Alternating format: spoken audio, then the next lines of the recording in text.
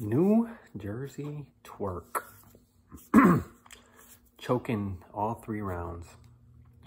This man is one of my favorite battle rappers, but he can't figure it out. You had six plus months to work on this.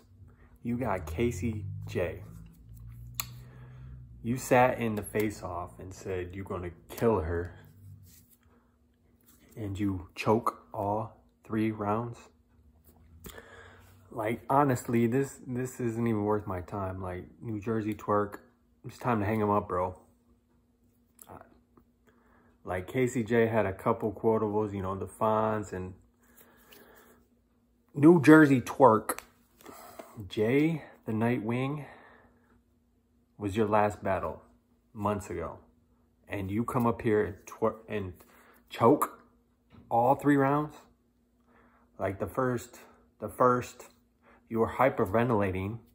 Come on, man. You got to do better than that. Come on, Twork.